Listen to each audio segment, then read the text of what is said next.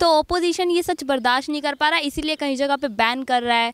जो थिएटर में लोग बैठे हैं, उन्हें अरेस्ट भी कर रहे हैं। केरला के एक छोटे से इलाके से लेके पूरे इतने बड़े केरला की कहानी को इतने बड़े पर्दे पे दिखाया, बहुत हिम्मत का काम है। आप एक लड़की होने के नाते मैं बोलूँगी सभी हिंदू लड़कियों से, आप सोचिए, अगर एक वक्त पे आपके साथ सौ सौ आदमी बलात्कार करें तो आप पे क्या बीतेगी? उस लड़की की रूप पे क्या बीती होगी? कि जो लड़कियाँ कहती हैं ना कि मेरा अब्दुल अलग है, वो अलग है या नहीं? वो लड़कियाँ ये कहती हैं कि अब्दुल को होना ही नहीं चाहिए। कि आजकल के जो माँ बाप हैं, वो इतना बिज़ी हो गए हैं कि अपने बच्चों को अपने ही धर्म के बारे में नहीं सिखाते। हैं तो आजकल की लड़कियाँ हैं इन्हें जने उधारी नहीं पसंद आते टीका लगाने वाले पसंद नहीं आते रुद्राक्ष पहनने वाले पसंद नहीं आते लेकिन इन्हें टोपी वाले पसंद आ जाते हैं।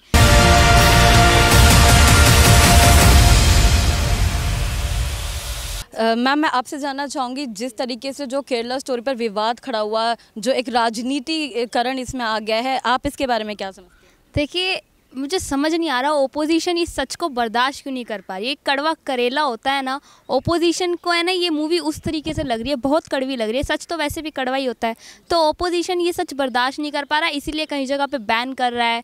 जो थिएटर में लोग बैठे हैं, उन्हें अरेस्ट भी कर रहे हैं। और कहीं जगह पे सिनेमा हॉल में से पर्दे भी फाड़ रहे हैं। तो आप जितनी कोशिश करनी है, कर लीजिए, सत्य है। आप सत्य को दबा सकते हैं, मार नहीं सकते। आज नहीं तो कल सामने आना ही था। और हम डायरेक्टर की हिम्मत को बहुत दाद देते हैं। जिन्होंने इतनी हिम्मत करके इतने कड़वे सच को केरला के एक छोटे से इलाके से लेके पूरे इतने बड़े केरला की कहानी को इतने बड़े पर्दे पे दिखाया बहुत हिम्मत का काम है। आपसे जानना चाहूँगी क्योंकि आप एक खुद एक लेडी हैं और एक लेडी होने के नाते आप बताइए कि आपने जो मूवी देखी आपको कितनी सच्चाई जो है मूवी में दिखाई देखिए मूवी पूरी की पूरी सच पे आधारित है। किस तरह से हमारे हिंदू धर्म की बहन बेटियों को फंसा के, उन्हें लव ट्रैप में फंसा के मैन्यूपलेट करके ब्रेन वॉश करके, उन्हें उन्हीं के धर्म के खिलाफ भड़का के उनसे इस्लाम कबूल करवाया जाता है। आईएसआईएस एजेंट बनाया जाता है। फिर सीरिया या यमन जैसे बड़े देशों में ले जाके या तो उनको मानव बम बना देते हैं या फिर सेक्स स्लेव बनाते हैं। बीइंग अ गर्ल आप एक लड़की होने के नाते मैं बोलूँगी सभी हिंदू लड़कियों से आप सोचिए अगर एक वक्त पे आपके साथ सौ सौ आदमी बलात्कार करें तो आप पे क्या बीतेगी? उस लड़की की रूप पे क्या बीती होगी? आप ये उस डायरेक्टर को मतलब एक सल्यूट है हमारा जिन्होंने इतना बड़ा सच दिखाया है। जी। जी। इस मूवी को लेकर जो है अलग अलग पार्टियाँ जो है, विपक्ष जो है अपने शिकंजे कस रही हैं कि मूवी में सब कुछ फेक है। एक फेक स्टोरी हमें दिखाई जा रही है। पहले बोला था कि तीस से बत्तीस हज़ार लड़कियों की कहानी है और मूवी में देखा कि तीन लड़कियों में वो सिम, सिमट गई।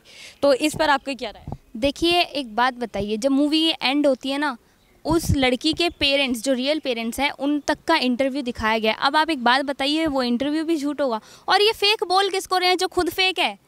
ये विपक्ष तो है ही फेक ये तो हिंदू विरोधी पार्टी है. ये तो चाह, ये तो चाहती यही है कि हिंदुस्तान को जो है हम एक इस्लामिक राष्ट्र बना दें.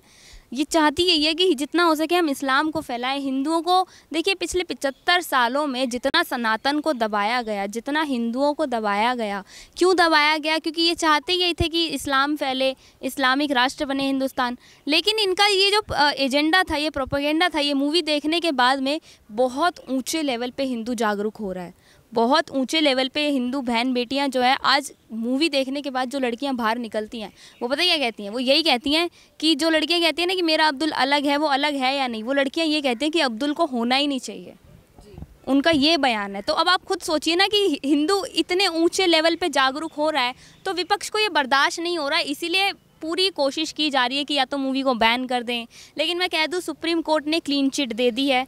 और मूवी में जो बताया गया है कि बत्तीस हज़ार लड़कियों के साथ हुआ मुझे लगा मुझे लगता है कि बत्तीस हज़ार से भी बहुत ऊँचे लेवल पे वो डाटा होगा। अनऑफिशियल तो करीब सत्तर हज़ार के आसपास पचास हज़ार के आसपास। जी मुझे यही लगता है अनऑफिशियल बहुत ऊँचा डाटा होगा बहुत बड़ा डाटा होगा क्योंकि ये तो हमारे डायरेक्टर ने खोज की थी पुलिस का और गवर्नमेंट का इसमें कोई हाथ नहीं था। अब आप सोचिए जब गवर्नमेंट हाथ देगी इस केस में इस इस मुद्दे पे जब पुलिस हाथ देगी तो सोचिए कितनी लड़कियों के केस सामने आएँगे, कितनी लड़कियों को ज़बरदस्ती इस्लामीकरण करवा के उनसे इस्लाम कबूल करवाया गया होगा, कितनी लड़कियों को इस तरह से इस्तेमाल किया गया होगा। मैम, मूवी में ये साफ़ देखा जा सकता है कि जो हिंदू लड़कियाँ हैं और जो क्रिश्चियन लड़कियाँ हैं, उनका धर्म परिवर्तन करवाया गया, लव जिहाद में उन्हें फंसाया गया, और जो इस्लाम और जो मुस्लिम लड़कियों को ऐसे दिखाया गया कि उन्हें अपने अल्लाह पर बहुत भरोसा है, जो कि शायद जो हमारी हिंदू लड़की हैं, उनको भरोसा अपने भगवान पर नहीं है। ये साफ़ ऐसा हमें देखा गया है मूवी में। तो इस चीज़ का क्या कारण समझिए? जो लव जिहाद के जो केसेस अब बढ़ रहे हैं, या फिर धर्मांतरण जो अब बढ़ रहा है, उसका क्या कारण है देखिए, इनका, इस चीज़ का सबसे बड़ा कारण यही है कि आजकल के जो माँ बाप हैं, वो इतना बिज़ी हो गए हैं कि अपने बच्चों को अपने ही धर्म के बारे में नहीं सिखाते हैं। तो ये उन माँ बाप की ज़िम्मेदारी बनती है कि आप अपने बच्चों को सनातन धर्म के बारे में सिखाइए। इस्लाम क्या चीज़ है? इस्लाम की जो सच्चाई है, वो तो ये मूवी बता ही रही है। अब आपकी ज़िम्मेदारी बनती है, अपने बच्चों को सनातन के बारे में बताइए।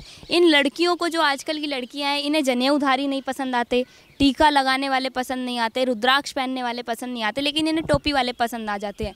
क्यों आ जाते हैं? क्योंकि उन्हें पता ही नहीं है कि उनका धर्म क्या है। इस मूवी में उन लड़कियों को भगवान शिव के अगेंस्ट भड़काया गया, भगवान राम के अगेंस्ट भड़काया गया। तो भड़क तो वही लड़कियाँ सकती हैं ना, जिनको पता ही नहीं है कि भगवान शिव की क्या कहानी थी, भगवान राम की क्या कहानी थी। ये वही राम है, जिसने लंका में आग लगवा दी थी अपने पत्नी को बचाने के लिए। तो अब आप खुद सोचिए, ये जो जिहादी लोग हैं, आप जितनी कोशिश करनी है कर लीजिए। बहुत लोग बैठे हैं यहाँ पे आपकी भी लंका में आग लगाने के लिए।